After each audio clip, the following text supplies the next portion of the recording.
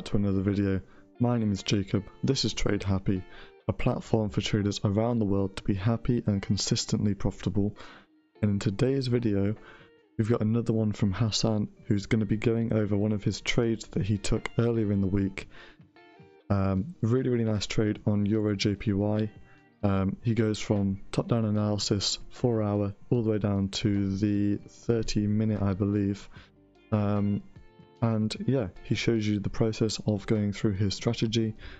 Totally open about it. It was really good to watch him go through his analysis like that. So I hope you enjoy it. If you do, remember to hit the subscribe button, click the like button, and comment below if you've learned anything from this video.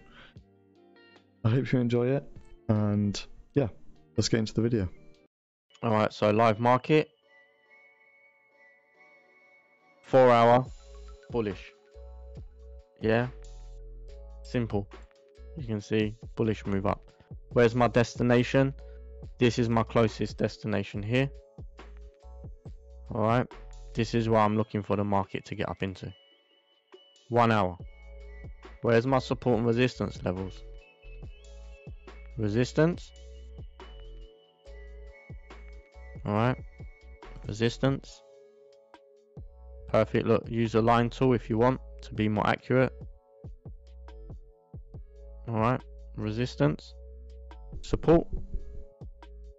Support is there. Easy peasy, go back to your candle formation. Now, all we waiting for? For 30 minute. We know this is our target. We've broken it, okay? We're just waiting for the market to come back into support.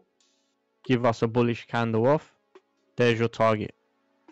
Alright, so my trade is going to look something, if I put my target there, um, my trade is going to look something like this. I don't know where, I don't know where this candle is going to come into, and that's it. So look, 10 pips. I'm just looking for a 10 pip move. I'm not going, you know, I don't want to sit in it for days. I just want to catch the smallest of moves. And all you got to do um, I heard someone say this once. All you need to do is catch the next candle. If you can catch the next one hour candle where it's going, catch the next 15 minute candle where it's going, the next 30 minute candle, that's all you need a day. One trade a day. Just work out where the market's going, catch that next candle. You don't need the next 50 candles, you don't need the next 30 candles. One candle. So if I can predict this market's coming in, get a green candle, and I can predict there's going to be potentially another green bullish candle, I would just want to catch that one candle. That's enough for me to make money for the day. Done. Out. Go do, do go do what I need to do. One to two trades a day finished. Cool. Does this work on other pairs? Anything. It, do, it doesn't matter. It really doesn't matter. Look, I can you can do on here. Yeah, four hour. Oh, this one's a bit messy. Um, where's the market likely to go? Okay. Let's look at the current four hours. We can see we had support.